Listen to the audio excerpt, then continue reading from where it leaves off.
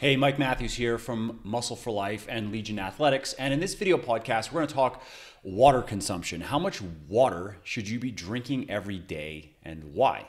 Okay, so let's start with why. Why is drinking water important? It is important because water is the single most abundant molecule in your entire body. About 60% of your entire body weight is water, and just about every physiological process that goes on in your body requires water.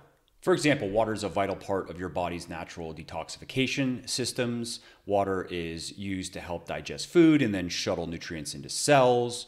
Water is needed to keep your ears, your nose, and your throat moist. Water is needed to keep our joint cartilage lubricated and supple, which is a big part of preserving joint health. And brain cells also require a delicate balance of water and other chemicals to function properly.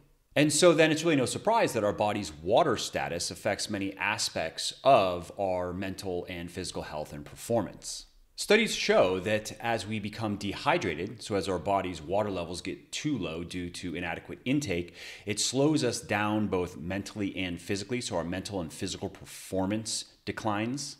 Our mood can become depressed, constipation, is common. And if this becomes a chronic situation, if we are chronically dehydrated, there's evidence that this can actually increase our risk of heart disease, which is, of course, the number one killer in the world.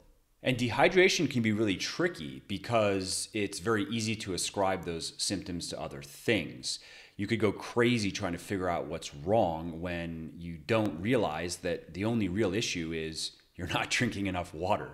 Okay, so how much water should you be drinking? Well, your body loses water every day through various things like breathing, sweating, urinating, pooping, and you have to replace what is being lost through drinking and eating. And yes, that's right, I said eating. Many people don't realize that food is actually a significant source of water for many people. One study showed that here in America, the average person got about 22% of their daily fluids, their daily water intake. About 22% of it came from the foods that they ate. And that makes sense when you realize that certain foods, like fruits and vegetables in particular, actually contain significant amounts of water.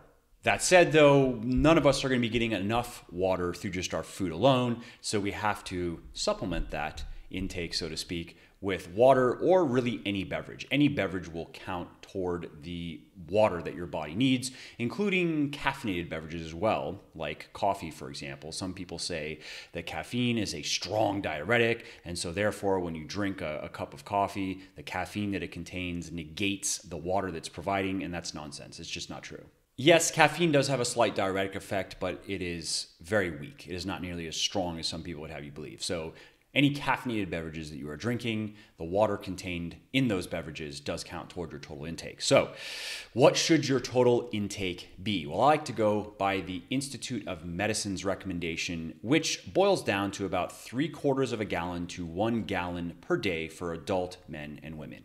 And you should also keep in mind that if you sweat a lot in general, so let's say you exercise, you know, four to seven days a week and you are sweating a fair amount in your workouts, you probably gonna need to drink a bit more to replace the additional water that you are losing through the excessive sweating.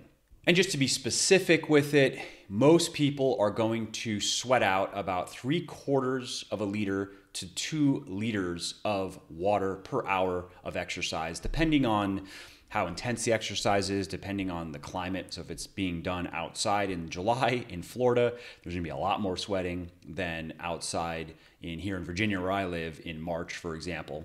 And speaking of climate, you should also be keeping that in mind that if you are in a place like Florida in July, you know that within 30 seconds of going outside, you're already sweating. Whereas if you live in a, place with more moderate climates, you may not sweat much at all throughout the day. So again, you have to be thinking with that. People that live in Florida, you know, for let's say six to seven, eight, nine months of the year, their water intake is going to need to be a bit higher than people in other areas of the country, people that live further north, for example, that don't sweat basically instantly the second they step outside. So, again, to boil all this down, if you just started with three quarters to one gallon of water per day, and then added on top of that, let's say a liter to a liter uh, and a half for each hour of exercise, you'll be good. So for me, for example, I drink about one and a half gallons of water per day. Sometimes it's a little bit higher, sometimes it's a little bit lower, but if you average it out, it would be about one and a half gallons per day. Now, in terms of how to actually do that, you have a few options. Of course, you can drink tap water, which is the easiest option, but I personally wouldn't do it because it seems like every few months or so a new study comes out. Uh, highlighting the the nasty stuff in a lot of tap water, ranging from bacteria to pharmaceutical drugs to heavy metals and various types of poisonous chemicals. And let's face it, tap water also kind of tastes like shit. So that's another problem, especially if you're drinking a lot of it, right? Uh, bottled water is an option, but it's an expensive option. It's going to be very expensive if you're looking to drink, let's say, a gallon of bottled water a day, would not do that.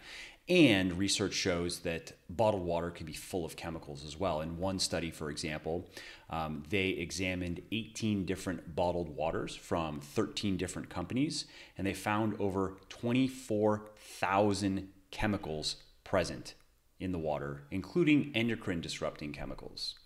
Not good. And then you have water filtration, of course, which is my personal choice. Uh, we have a good reverse osmosis filter at the office, and I also have it here at my house. And it's from a company I guess it's purewatersystems.com. The name of the company is probably Pure Water Systems. Honestly, I haven't even looked. Got recommended to me by a friend um, who's super into just health in general, and he was impressed with this filter because it removes everything from the water. Uh, that water tests out at zero parts per million, zero ppm. It's very, very clean water, removes fluoride as well. Um, and if I remember correctly, the, I want to say the, the filter system itself was kind of expensive, about a thousand dollars or so. But um, you know, you have to change the filters once every six months, and those are cheap. And we've had the same system now running at the office, at least. That system has been running for years, and it gets used a lot. We run through gallons every day, and no problems. So. I'm not getting paid to promote them, but good product, purewatersystems.com is what I personally use. Now, if that's too expensive, they may have a cheaper option actually, one that just is like a countertop device. I'm not sure. You can check it out. But even if they do, and if that's too expensive, then check out the Zero Water ZP010. That is a great, simple Brita like filter that just does a better job than Brita. Okay, so a couple odds and ends here. Water and weight loss. Many people say that drinking water frequently or drinking a lot of water speeds up your metabolism because your body has to heat it up and expend energy, and therefore that will help you lose weight faster. And eh, not so much. A couple studies have shown slight increases in metabolic rate, and at least one study showed no such increase. So that is even even if it were to have that effect in your body, the the effect is going to be so slight it's not going to matter. That said, Research shows that drinking water is an effective way to increase satiety with your meals, which means that you stay fuller for longer, and that, of course, makes it easier to stick to your diet. So, in that way, drinking enough water actually can help you lose weight faster. Another point worth mentioning is I do not recommend drinking calories because it does not trigger fullness like food does, because it doesn't have the same volume. It doesn't keep your stomach full as longer as food does. That's the primary reason. And so this is why you could drink a thousand calories of whatever and be hungry an hour or two later, whereas eating a thousand calories of filling food is going to keep you full for many hours. And lastly, what about water status and muscle building? Well, there is a relationship here. Staying hydrated is going to help you gain muscle faster and for two reasons. First, studies show that hydration status does affect weightlifting performance, and it affects it actually quite significantly. Generally speaking, the more dehydrated you are, the less strength you're going to have and the less muscle endurance you're going to have, which of course makes for worse workouts, makes it harder to progress. And the harder it is to progress to heavier weights and have more volume, the harder it is to, to gain muscle, of course. And the second point here is a, an interesting little bit of physiology because studies show that cell hydration status relates to protein synthesis and protein breakdown rates. And what's happening here is that when a cell is dehydrated, it shrinks, and that promotes protein breakdown. And on the flip side, a hydrated cell swells, it expands, and that promotes protein synthesis. It doesn't cause protein synthesis, but it is conducive to better protein synthesis. And as muscle growth is simply more protein synthesis than protein breakdown over time, the implications of this are clear. Muscles that are well hydrated are simply going to perform better and grow faster than muscles that are not. Okay, so the bottom line here is if you're not currently getting enough water, you might be surprised at just how much you can benefit from drinking more. You might find that your mind is sharper and works better. You might find that your mood improves. You might find that your digestion improves. You're probably going to find that you do better in your workouts. You perform better in your workouts. You have more energy in your workouts. You don't get as tired easily in your workouts. You are able to gain strength and gain reps uh, faster in your workouts. And that, of course, over time will result in faster muscle gain. And you may also find that when you are cutting, you find it easier to stick to your diet, and therefore it helps you lose fat faster. So, if you want to make it easy, get a filter and get something that you can pour the water into and carry around, like carry it to your desk at work, for example. I use a stainless steel container. It's I want to say it's like a, probably like a one liter bottle, and it's stainless steel. And the reason why I went with stainless steel is because I just try to stay away from plastic. Uh, because many plastics have many, many different chemicals that I don't want to be putting into my body. I'm going to get exposed to them to one degree or another, but I'd like to reduce my exposure as much as possible. And these are particularly endocrine disrupting chemicals, which, if you're curious about learning about that, I have an interview with uh, what's his his name was Jay. It's Jay. So if you scroll down either on YouTube or in the in the iTunes feed, you'll see uh, an interview I did a few months ago with a guy named Jay. I forget his last name.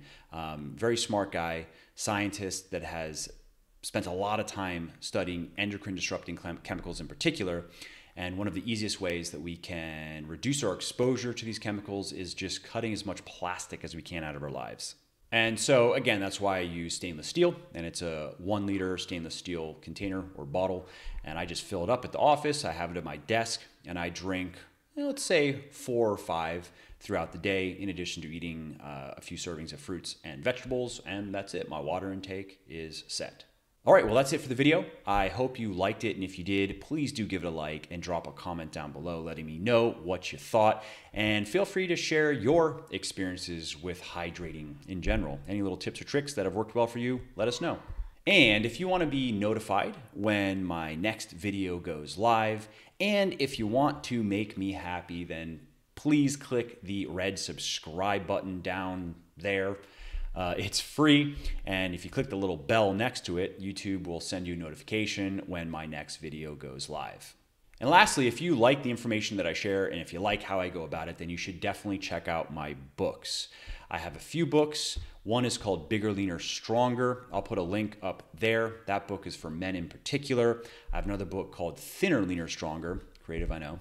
Link up there. That book is for women in particular. And I have a book called The Shredded Chef, which is a cookbook, and it's a, a flexible dieting cookbook. It's a cookbook of quote unquote diet friendly foods that are also tasty and that you will look forward to. Stuff you can fit into meal plans and enjoy. Link up there. All right, well, that's it for this video.